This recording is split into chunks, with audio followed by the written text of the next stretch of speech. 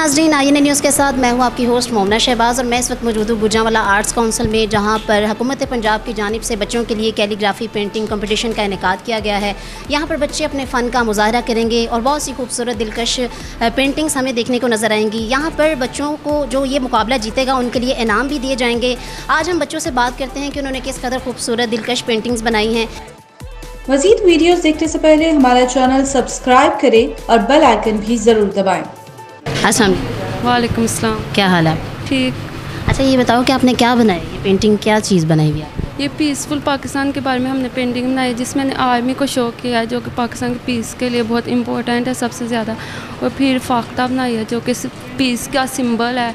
और जैसे बच्चे खेल रहे हैं अगर पीसफुल फ़िज़ा होगी पूरा अमन माहौल होगा तो बच्चे खुशी से खेल लेंगे। तो इस तरह मैंने अपनी पेंटिंग को रिप्रेजेंट करने की कोशिश की। अस्सलाम वालेकुम सलाम। क्या हाल है आपका? अल्लाह का शुक्र आप कैसी हैं? अल्लाह का शुक्र अच्छा ये बताएँ कि आप आज ये क्या बना रही हैं? कैलीग्राफी कंपटीशन में मैंने पार्ट लिया हुआ तो एक आयत है उसी को कर रही हूँ। तो आपको पेंटिंग का शौक़ कब से है? मुझे वैसे तो बचपन से लेकिन कभी ट्राई नहीं किया। तो वैसे ही अगर अगर कभी लाइफ में थोड़ा बहुत टाइम मिला इधर उधर तो फिर मैं पेंटिंग ही करती हूँ कैलीग्राफी या पेंटिंग कहीं से प्रॉपर सीखा हुआ नहीं नहीं सीखा नहीं है। जो हमारे टीचर थे एमए उर्दू के वो थोड़ा बहुत कभी कभी स्टडी से हटकर हमें करवाते थे। तो फिर वहाँ से ही शौक चढ़ा के हमें मतलब करना चाहिए। तो आइंदा फ्यूचर में क्या करेंगे? अभी तो वैसे टीचिंग का कोई प्लान है? जी जी अभी तो वैसे टीचिंग कर रही हूँ और जो टीचिंग में मज़ा आना है मज़ा ये नशा है। तो मेरा नहीं ख्याल कि मैं कभी छोड़ूँगी टीचिंग को। तो साथ साथ ये पेंटिंग बुक रीडिंग है इसको कंटिन्यू रखेंगी? जी बिल्कुल कंटिन्यू रखूँगी। क्योंकि ऐसी चीज़ है जिससे आपके फ्रस्ट्रेशन निकलती है। तो मेरा नहीं ख्याल कि इंसान को फ्रस्ट्रेशन निकालने का इतना आसान और एक सस्ता सा मौका हासिल जाने आज जो कंपटीशन है क्या उम्मीद है कुछ जीतने की? बिल्कुल भी नहीं। इसलिए नहीं है क्योंकि मेरा तो फ़र्स्ट टाइम है और मैंने अभी इधर उधर नज़र दौड़ाई है तो मैं तो किसी मुझे नहीं लग रहा है कि मेरा थोड़ा बहुत भी अच्छा है। मुकाबला टफ है?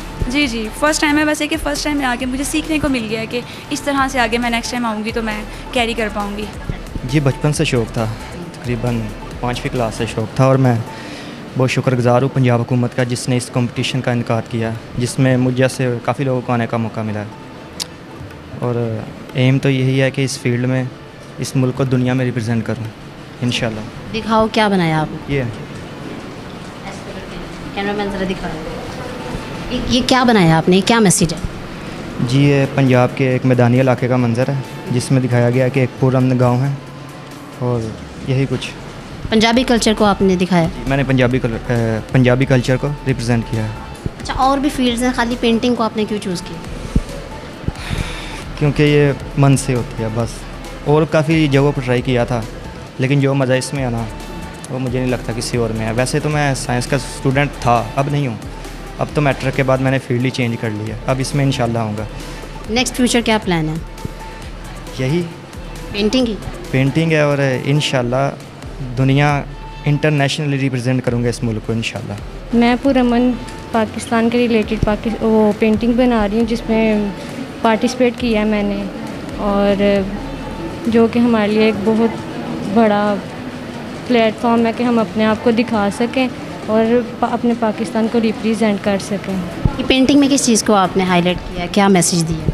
इसमें सुकून दिखाया गया है कि ए, ए, इसमें कौमी जानवर को दिखाया गया है जो कि सुकून से पहाड़ों के ऊपर कर रहा है और इकाब को दिखाया गया है जो कि उड़ रहा है वहाँ पे। कब से शौक़ है आपको? बचपन से।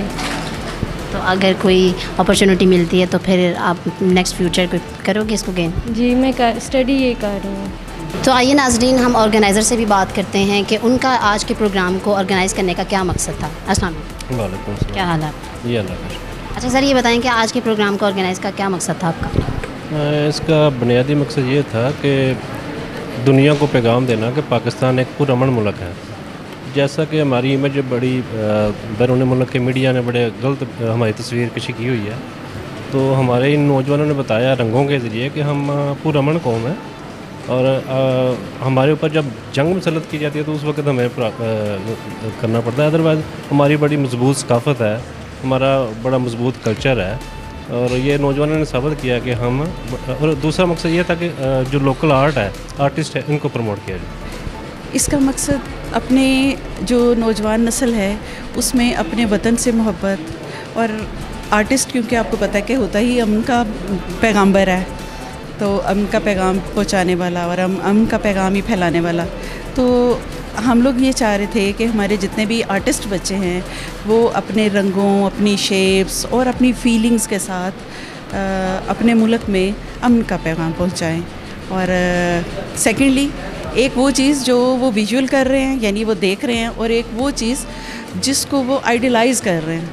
तो इस वक्त माशाल्लाह बच्चों ने वाकई के जो उनका विजन है और जो उनका विजुअल है उस दोनों को बहुत अच्छे तरीके से माशाल्लाह कैनवस पर उतारा और बड़ा अच्छा रहा। और तो बच्चे, बच्चे की किस किस जगह से हैं मुख्तलिफ़ स्कूल कॉलेजेस और इवन प्राइवेटली कुछ बच्चे इसमें ऐसे हैं कि जिन्होंने किसी कॉलेज से आर्ट नहीं पढ़ा किसी स्कूल से आर्ट नहीं पढ़ा लेकिन उनके सब्जेक्ट्स और हैं। और वो आर्ट पढ़ रहे हैं, अपने तौर पे आर्ट कर रहे हैं। इवन कैलीग्राफी में इतना इतना अच्छा वक्त बाज़ बच्चियों ने, मैं बच्चियों का इसलिए स्पेशल मेंशन कर रही हूँ कि मैं बहुत हैरान हुई हूँ कि उन बच्चियों ने कहीं से भी बाहर से किसी उस्ताद से नहीं सीखा, लेकिन माशाल्लाह अपनी प्रैक्टिस के साथ उन बच्चियों ने बहुत अच्छी कैलीग्राफी की बच्चियों को उस तरह से मौके भी नहीं ना मिलते। तो यहाँ पर ये बच्चियाँ, ख़ासकर बच्चियाँ मैं देख रही हूँ, ज़्यादा पेंटिंग्स कर रही हैं। ज़ाती तौर पे इस पे बिलीव नहीं करती। माशाल्लाह, इस वक्त हमारे माशरे में बच्चियों को बहुत तवज्जो दी जा रही है। किसी दौर में ऐसा था कि बच्चियों को मौके नहीं मिलते। इस वक्त तो आप देखें, माशाल्लाह, आपके बहुत से बच्चे ऐसे हैं जो देहातों से आए हुए हैं। तो फिर आखिर उन बच्चियों को देहातों के लोग जो हैं, उन्होंने इतनी आज़ादी दे के और उनकी केयर करके, और माशाल्लाह आपको ज़्यादातर बच्चियाँ बापर्दा नज़र आ रही हैं। और बापर्दा बच्चियाँ जो हैं, वो कहीं अगर इंस्टीट्यूट्स में भी जाकर सीख रही हैं या अगर इंस्टीट्यूट्स के बगैर भी वो काम कर रही हैं तो बच्चियों के पास ऐसा नहीं है कि मौके नहीं हैं। तो नाजरीन, आपने टीचर की भी बात सुनी जिनका ये कहना था कि आज की जो ख़ास प्रोग्राम का मकसद था, वो था कि बच्चे अपने फ़न का मुजाहरा कर सकें। हुकूमत पंजाब को ऐसे प्रोग्राम ऑर्गेनाइज़ करने का मौका देना चाहिए ऐसे मौके फराम करने चाहिए ताकि बच्चे अपने फ़न का मुजाहरा कर सकें। इसी के साथ अपनी मेज़बान मोमना शहबाज को दीजिए इजाज़त। अल्लाह हाफिज़।